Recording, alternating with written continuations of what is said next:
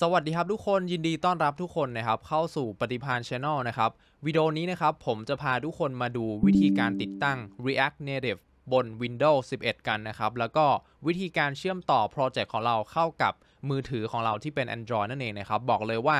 ง่ายมากๆนะครับ ก็คือใครใช้ Windows เนี่ย แล้วทุกคนอยากฝึกเขียน React Native นะครับ ร่วมกับโทรศัพท์ที่เป็น Android นะครับ สามารถที่จะทำได้โดยที่ไม่ต้องติดตั้งโปรแกรมอะไรให้วุ่นวายเลยนะครับ ก็เดี๋ยววันนี้จะพามาเรียนรู้กันนะครับโอเคครับ อันดับแรกนะครับทุกคนก็ทุกคนเนี่ยจะต้องมาติดตั้ง Node.js ก่อนนะครับ อ่าตรงนี้ขาดไม่ได้เลยนะฮะ Node.js นะครับที่ผมติดตั้งไปล่าสุดก็คือจะเป็นเวอร์ชันนี้เลยนะครับ 16.15.1 นะครับ ก็แนะนำว่าให้ทุกคนไปดาวน์โหลด แล้วก็ติดตั้งลงบนเครื่องของทุกคนเนี่ยให้เรียบร้อยนะครับ หลังจากนั้นนะครับ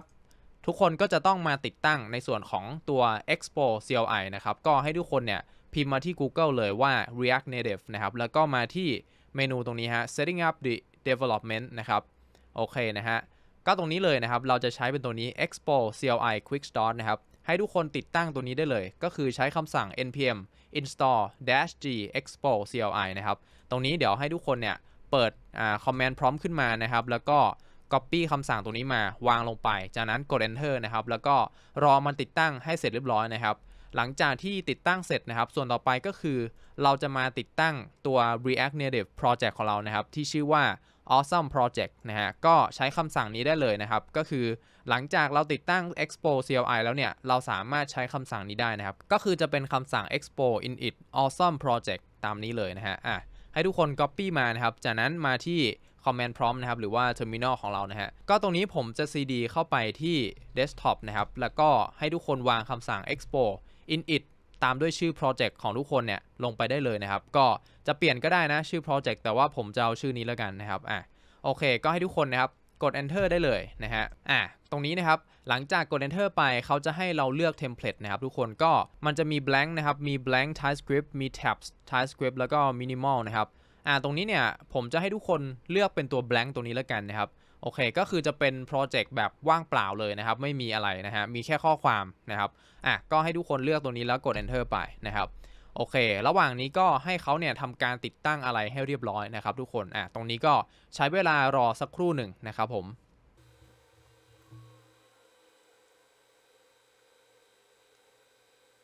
อ่า ตอนนี้นะครับทุกคน โปรเจกต์ของเราเนี่ยติดตั้งเสร็จเรียบร้อยแล้วนะครับ ส่วนต่อไปก็คือ เดี๋ยวเราจะมาทำการ run โปรเจกต์ของเรากันนะครับ ซึ่งวิธีการที่ผมจะพาทุกคนมาใช้กันนะครับ ก็คือเดี๋ยวเราเนี่ยจะต้องมีการติดตั้งแอปในโทรศัพท์ของเรานะครับ ตรงนี้จะบอกว่าสำหรับคนที่ใช้เป็น Android นะครับทุกคนนะ ก่อนที่ทุกคนนะครับจะไปทำการติดตั้งแอปเนี่ยเดี๋ยวผมจะให้ทุกคนนะฮะเปิด VS Code ขึ้นมาก่อนนะครับ แล้วก็ให้ทุกคนนะครับทำการลากเอาตัวโฟลเดอร์ Awesome Project ของเราเนี่ยเข้ามาใน VS Code ได้เลยนะครับ โอเค ก็จะอยู่ที่ Desktop นะครับ ผมก็จะลากเข้ามานะฮะ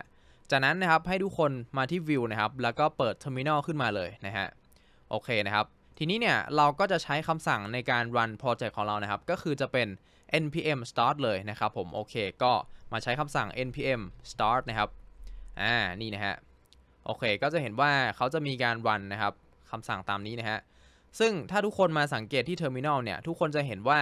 Terminal เนี่ยมันจะมีการ gen QR code มาให้เราใช่ไหมฮะ แล้วก็ในส่วนของตัว URL ตรงนี้นะครับอ่าตรงนี้แหละเราสามารถใช้นะครับไม่ว่าจะเป็น URL หรือว่าจะใช้เป็นการสแกน QR code ก็ได้นะแต่ว่าตรงนี้เนี่ยเดี๋ยวผมจะเลือกเป็นการสแกน QR code แล้วกัน เพราะมันง่ายดีนะครับอ่าแต่ว่าจะเห็นว่าตัว QR code ของเราเนี่ยมันอาจจะมีบั๊กนิดนึงนะไม่เป็นไรนะครับเดี๋ยวกด Ctrl C นะปิดเซิร์ฟเวอร์แล้วก็ใช้คำสั่ง npm start ขึ้นมาใหม่นะครับเพราะว่าเมื่อกี้นี้เนี่ยผมมีการขยายมันเนาะนะครับก็คือมันจะถูกตัดไปอะ QR code ตอนเนี้ยถูกสร้างขึ้นมาใหม่แล้วนะครับ ทีนี้นะครับก็เดี๋ยวเราจะมาอ่าที่โทรศัพท์ของทุกคนนะครับให้ทุกคนเนี่ยเปิดโทรศัพท์ของทุกคนขึ้นมานะครับ แล้วทีนี้เนี่ยผมจะให้ทุกคนไปติดตั้งแอปตัวนี้นะครับ ตอนนี้ผมอยู่ที่โทรศัพท์ของผมแล้วเดี๋ยวผมจะเอาภาพเนี่ยขึ้นหน้าจอด้วยนะครับ ทุกคนจะได้เห็นไปพร้อม ๆ กันนะครับ ตรงนี้เนี่ยผมจะมีแอปตัวหนึ่งนะครับ ที่จะให้ทุกคนไปติดตั้งก็คือ Expo Go นะฮะ เห็นไหมแอปด้านขวาสุดเลยนะครับ ที่อยู่ข้างๆ True iService นะครับอ่าจะเป็นแอปตัวนี้ทุกคนก็ไปดาวน์โหลดมาให้เรียบร้อยนะครับ หลังจากทุกคนดาวน์โหลดเสร็จปุ๊บ ให้ทุกคนเปิดแอปตัวนี้ขึ้นมานะครับผมอ่าหน้าตาก็จะเป็นลักษณะแบบนี้นะครับ ทุกคนจะเห็นว่ามันจะมีในส่วนของตัวนี้ฮะเห็นไหม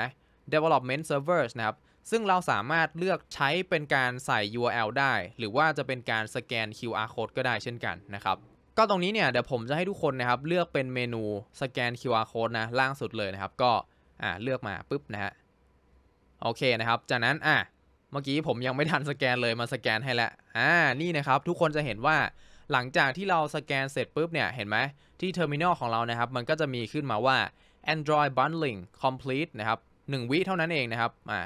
1,031 millisecond นะครับ แล้วก็ Android running app on SMG99 1B นะครับผมอ่าแล้วมาสังเกตที่โทรศัพท์ของเราครับ ทุกคนก็จะเห็นว่าโทรศัพท์ของเราเนี่ย ก็จะมีข้อความขึ้นมาเห็นไหมว่า open up app.js to start working on your app อ่าซึ่งตรงนี้ก็หมายความว่าเราสามารถที่จะพัฒนานะครับ แอปในโทรศัพท์ของเราได้แล้วนะครับอ่าเห็นไหมนะครับ ไม่ต้องเสียบสายไม่ต้องอะไรเลย คือใช้ติดตั้งผ่านทางแอป แล้วก็เชื่อมต่อเข้าได้เลย ผ่านทางการสแกน QR code นะครับ หรือว่าใช้เป็น URL ก็ได้ แต่ว่าตรงนี้ผมพาใช้เป็น QR code นั่นเองนะฮะอะทีนี้นะครับ มาที่ VS Code ของเรานะครับ เรามาที่ไฟล์ app.js นะครับทุกคน ทุกคนจะเห็นว่านี่ฮะมันจะมีข้อมูลตามนี้ใช่ไหมโค้ดของเรานะครับอะก็จะมีแค่ตามนี้ครับ มี view มี text มี status bar ตามนี้เห็นไหมฮะ ซึ่งทุกคนลองมาแก้ไขดูนะครับ อย่างเช่น ผมอาจจะลองลบนะครับอะลองลบตรงนี้ไปแล้วกดเซฟนะครับทุกคน แล้วสังเกตดีๆนะที่โทรศัพท์ของทุกคน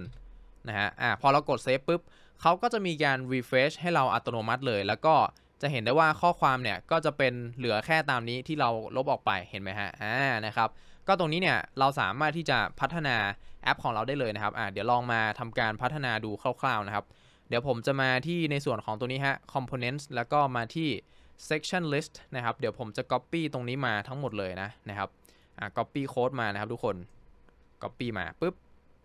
กลับมาที่ VS Code นะครับ แล้วผมก็จะวางนะครับอ่าตรงนี้ลงไปโค้ดนะฮะ จะได้ไม่ต้องเขียนใหม่นะฮะ แล้วให้ทุกคนเนี่ยกดเซฟดูนะครับปุ๊บอ่าพอทุกคนกดเซฟทุกคนจะเห็นนะฮะว่าที่โทรศัพท์ของเราเนี่ยก็จะมีหน้าตาเปลี่ยนไปตามนี้เลยเห็นไหมนะครับตามโค้ดที่เรา Copy มา อ่าบอกเลยว่าพัฒนาได้ง่ายมากๆ แล้วก็รวดเร็วมากๆนะครับนี่ฮะสะดวกสบายมากๆด้วยนะครับผมโอเคนะครับก็นี่จะเป็นวิธีการนะครับที่ทุกคนเนี่ยสามารถที่จะ ติดตั้งโปรเจกต์ React Native นะครับ เพื่อทำการพัฒนา Mobile Application แบบง่ายๆเลยนะครับ วิธีนี้บอกเลยว่า อยากจะมาแนะนำให้ทุกคนลองเอาไปใช้ดูนะครับผมโอเค ก็หวังว่าวิดีโอนี้นะครับจะเป็นประโยชน์กับทุกคนนะครับผม หากชอบวิดีโอนี้ครับ ก็อย่าลืมกดไลค์กด Subscribe นะครับ แล้วรอติดตามชมวิดีโอตอนต่อไปนะครับ แล้วเจอกันวิดีโอหน้าครับผมสำหรับวันนี้ ขอตัวลาไปก่อน สวัสดีครับ สำหรับใครนะครับที่สนใจอยากจะซัพพอร์ตช่องปริพันธ์เพลงพาวช n น l นะครับ ทุกคนก็สามารถที่จะสมัครสมาชิกรายเดือนได้นะครับ เพียงเดือนละ 35 บาทเท่านั้นนะครับ ก็จะเป็นส่วนช่วยเหลือ support สนับสนุนนะครับ เป็นกำลังใจให้ผมทำคอนเทนต์ดีๆ แบบนี้ต่อไปได้นั่นเองนะครับ ยังไงผมก็จะผลิตวิดีโอเนื้อหาดีๆ แบบนี้ให้ทุกคนเนี่ยได้เรียนรู้ศึกษากันต่อไปนะครับขอบคุณทุกคนที่ติดตามและ support ผมเสมอมานะครับขอให้ทุกคนมีความสุขในการเรียนรู้ครับผม แล้วเจอกันครับ